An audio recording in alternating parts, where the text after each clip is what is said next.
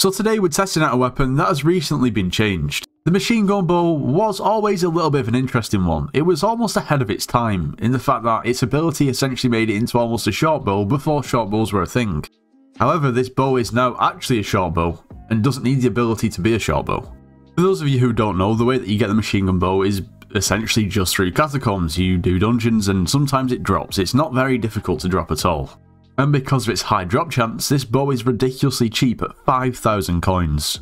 Now it has competitors, for instance like other cheap short bows, like the artisanal short bow, however it does substantially less damage and it isn't dungeonizable. You also have the dragon short bow which is obtainable in the end and good for early game at killing dragons, but it isn't dungeonizable once again. The next best thing you have to the machine gun bow is the spirit short bow. Now this was never a short bow but was changed to a short bow probably maybe close to a year ago now, it was quite a while ago. Now this forever was seen as basically I don't know, let's see, say the bottom layer of progression in terms of archer in dungeons or something along those lines, considering it's 5 million coins, doesn't really have sort of requirements in the way of it in terms of, in comparison to the Juju or Terminator, in terms of Enderman Slayer.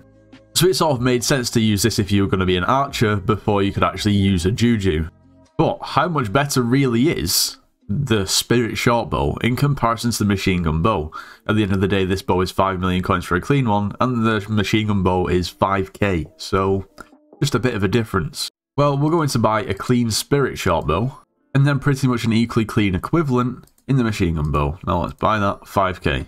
Now, straight off the bat, the Spirit Bow has um, a, a base damage of plus 210 and a base strength of plus 100 whereas the machine gun bow has a base damage of 103 and a base strength of 109, but that's obviously because of the reforge, so that means that our base damage is actually going to be 69, and then our crit damage is also plus 17%.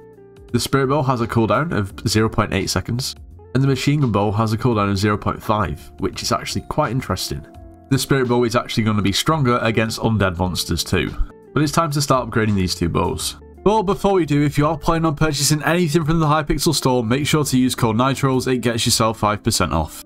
Also, you should subscribe to the channel. There are a lot of people who watch the videos and aren't subscribed, so make sure you do subscribe.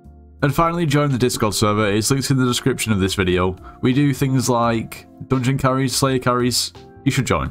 Okay, we've upgraded both of these bows. Not massively, because I don't want to spend too many coins on it, and at the end of the day, if you're going to get a 5,000 coin bow, you're not going to spend a ton of coins on upgrading it anyway.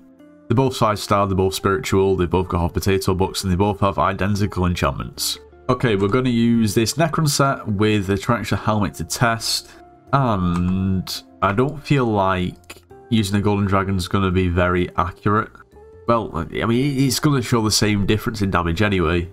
I feel like if you've got one of these bows, you're probably going to be using something like a Skeleton Pet, I would assume.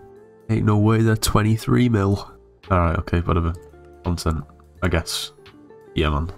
Okay, let's do a quick little damage test. First of all, with our Spirit Short Bow, we are going to deal, definitely not 12k damage, around about 172, 173. Let's call it 170, because, uh, that, oh, 175, yeah, let's call it 175. And then with our Machine Gun Bow, we are going to deal 89k, 90k damage. So, outside of dungeons, the spirit bow does around about 85k more damage than the machine gun bow. Which I guess is expected, just taking a quick look at the actual base stats. Now, something that's very interesting is that the spirit bow has a higher cooldown than the machine gun bow, which means, in actual terms, the machine gun bow will make up a little bit in terms of damage, just in terms of DPS rather than one hit damage. And you can see it, if we hold down our right click with the spirit bow, it actually shoots relatively slowly, I guess, in comparison to the machine gun bow, which is much, much, much quicker. And what I mean is basically the, the, the time in between each arrow is shot is substantially reduced on the machine gun bow. Now, of course, all of this is relative and is changed by bonus attack speed too, but the actual base stats will still remain. Now, if we go into something like a floor 3, I guess, just, just kind of see what sort of damage we do. Obviously, this is not going to be probably accurate in terms of, you know, transferring to your profile because my magical power is, like, I don't need to use these two weapons, but it's just a comparison. My magical power is probably higher at this point if you're considering these two weapons and what yours is, so my damage is probably going to be higher. But the percentage change should still be the same. And testing it out for things like clearing should also, also still be pretty much the same too. So this is now the Spirit Bow, and uh, let's test our damage. Okay, we're going to deal around about 5.5 million, which honestly, is actually pretty good, I've got to say. You've got to bear in mind that this hasn't really got any major enchantments on either. Now, if we switch over to our machine gun bow, let's have a look at the damage, what we're actually dealing, if I could actually get a proper... That's 2.6 million. So, honestly, it's kind of consistent with outside of dungeons, let's be real. No, let, let's let's say for instance you can one hit with both weapons. Which weapon is better for clearing? Honestly, I've got to give it to the machine gun bow because it's got a higher fire rate, and that's the bottom line. It's actually really nice to see weapons like the machine gun bow that were basically just a novelty when you first started playing the game and weren't really massively useful turn into a weapon that is actually genuinely usable and for a very cheap cheap price, which is nice. See, that was a that was a lost adventurer. Um, it was gone pretty quick. That is because it is 4-3. Okay, we have a Shadow Assassin here. This is our machine gun bow. Once again, it isn't really anything just to say that I can one-hit it, but... However, in practice, there is actually a quite noticeable difference between the fire rate on both weapons. Like, the Spirit Bow just isn't quite there. Now, don't get me wrong, the, the damage difference is ridiculous. Um, it kind of makes more sense to think of the Spirit Bow as more of a sniper, and the machine gun bow more of a, hmm, let's say, machine gun. However, back in the day, you would have had to get a Juju, and back in the day, Juju was Enderman Slayer 5. So we've come a long way in terms of Archer. This is actually really nice. Previously, Archer was basically not usable in, ter in terms of dungeons or pretty much anywhere really other than dragons. But now you've got actual options like a machine gun bow at a really early game, artisanal and dragon outside of dungeons, you've got a spirit bow, Juju and then Terminator. Like it is definitely going in the right way. It just makes Archer, especially at early game with a machine gun bow, actually viable.